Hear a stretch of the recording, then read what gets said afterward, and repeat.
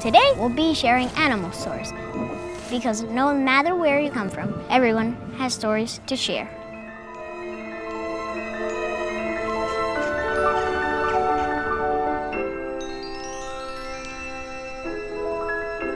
Deep in the jungle, there lived a fierce lion. The sky spirits gave Kangaroo an apron made of eucalyptus bark.